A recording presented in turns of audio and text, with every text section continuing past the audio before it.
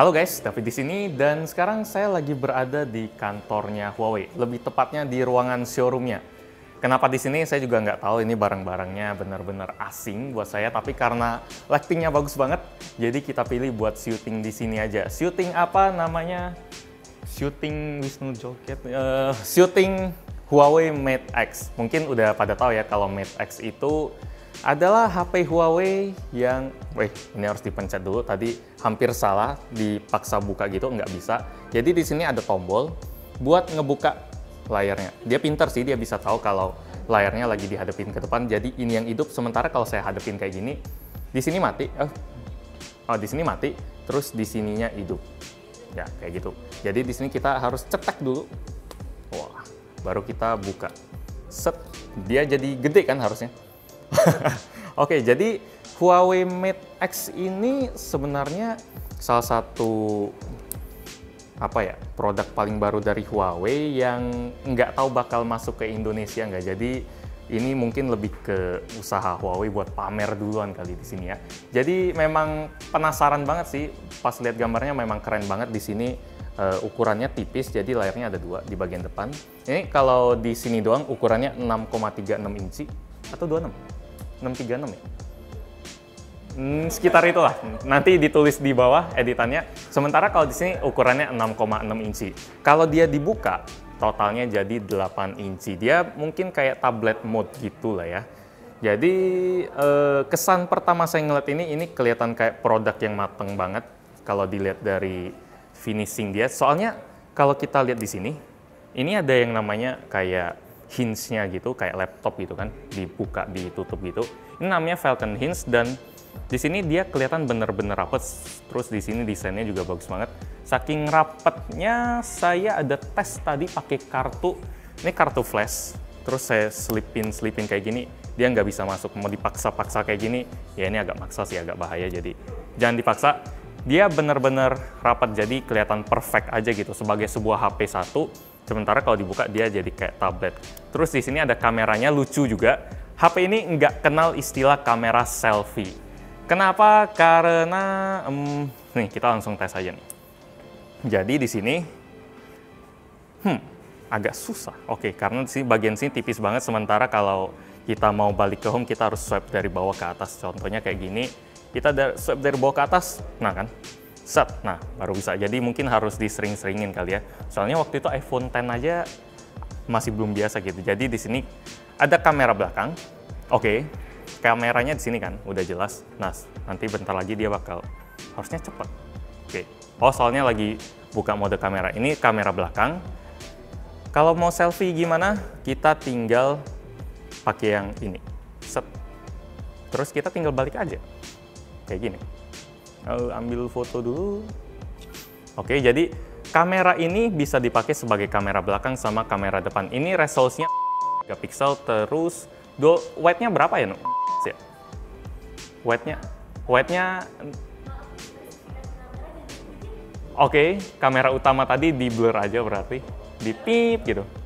Oke, kamera utamanya pip, terus ada kamera wide angle, terus dan kamera itu ya ultra port telefoto. Jadi ada tiga kamera, kamera utama, terus kamera wide angle dan kamera telefoto. Sementara buat angka megapikselnya belum boleh disebutin. Jadi konsepnya lumayan lucu sih. Jadi tiga kamera ini doang udah cukup, nggak perlu ada kamera selfie tambahan. Um, ada satu lagi mode yang lumayan keren sebenarnya. Jadi kayak gini. Sekarang saya lagi aktifin mode kamera belakang. Oh ya, lihatnya dari sini.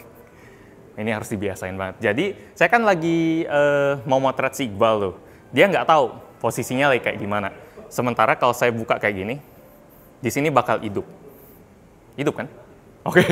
jadi di sini Iqbal bisa lihat, wah, gue kurang ganteng nih, harus kayak gini nih, gue kayaknya terlalu nunduk nih, terlalu gimana nih. Ini padahal pakai kamera belakang loh. Pak, ya bisa dibilang kamera selfie, kamera belakang juga sih, soalnya kan konsep HP ini kameranya nggak kenal kamera selfie. Jadi mau dibilang pakai kamera belakang atau pakai kamera depan, buat orang yang lagi ngeliat sini, kamera belakang. Buat saya, saya lagi ngeliat kamera depan, selfie. Jadi ini konsep yang asik sih. Uh, pemanfaatan foldable phone yang keren. Um, nggak kepikiran kalau belum ngeliat ini.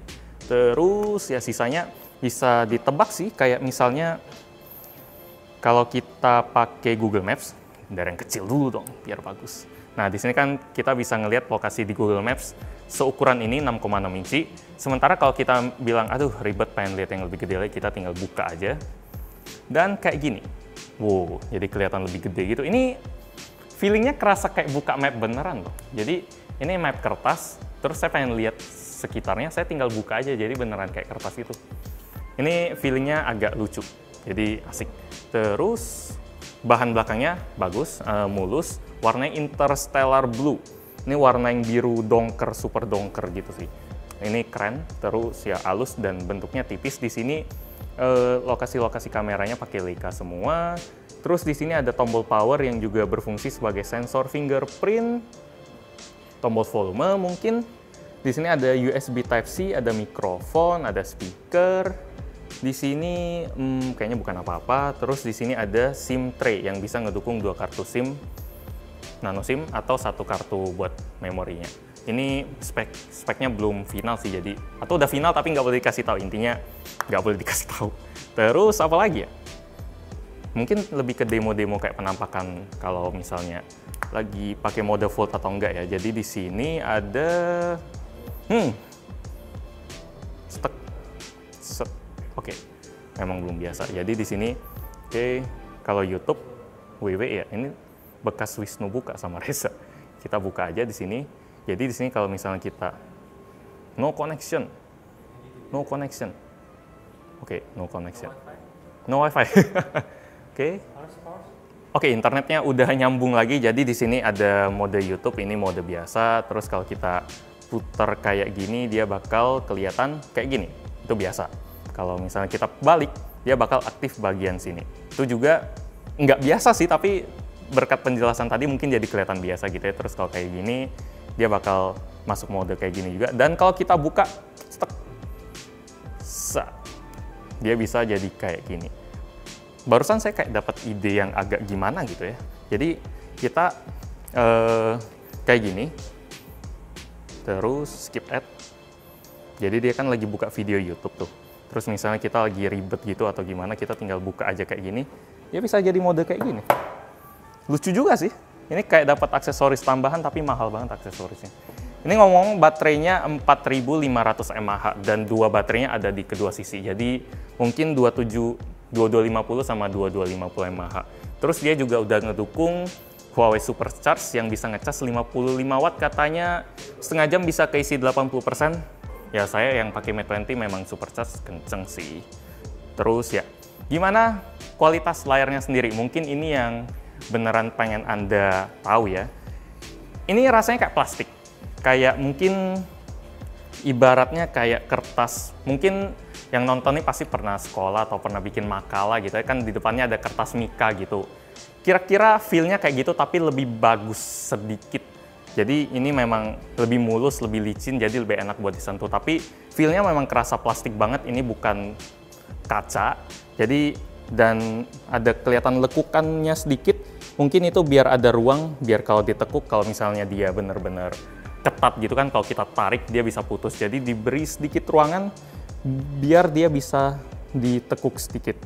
Itu mungkin karena pas lagi masa awal ya produk generasi pertama nggak mungkin bisa perfect banget sih, cuma ini eksekusinya udah bagus banget.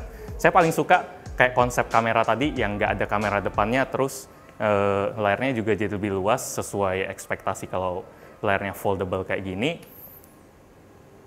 Resolusi layarnya juga udah tinggi, 2K, dan sisanya mungkin ini kayak tablet banget. Misalnya kita lagi pakai iPad atau pakai eh, tablet-tablet uh, yang lain kan uh, recommended tab-nya ada di sini videonya di sini. Jadi dia memang masuk ke mode tablet. Kalau kita kayak gini, dia masuk ke mode telepon. Feel-nya enak. Ini build quality-nya bagus banget. Cuma memang masalah layarnya aja mungkin buat sekarang belum ada solusi buat kaca yang bisa dilipat. Tapi saya dengar tadi penjelasan dari orang Huawei kalau mereka lagi ngembangin kaca yang bisa dilipat. Plus tempered glass atau proteksinya gitu. Ya, HP bisa diginin juga ya. Ternyata saya kirain awalnya kayak nah HP dilipat kayak maksa banget harus ada, ada inovasi.